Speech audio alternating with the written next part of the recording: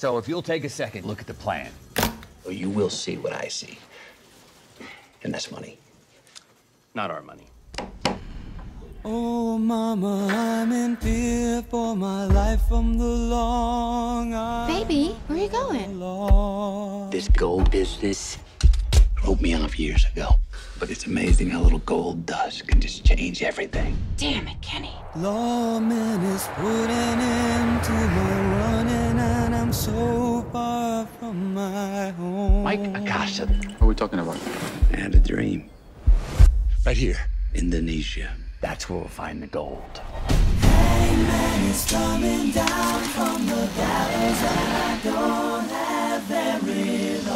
long. We found nothing and the workers are leaving. Wait, wait, wait. Kenny, look. We got a gold mine. You gotta go, mine. We gotta go on, Mike. We gotta go!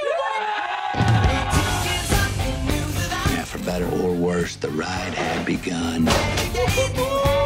And what a ride. I never doubted you for a second. This is Ryan Wolf in New York. They were coming at me from all sides. We believe you're sitting on the largest gold find of the decade. We're talking over $30 billion.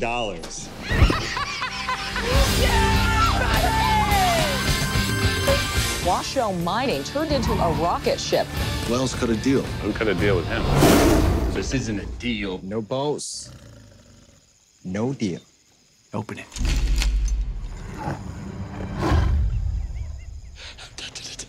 A lot of very powerful people are very angry. The military is taking over the mine. These people are using you. They can't just steal it away. The gold is mine. I found it.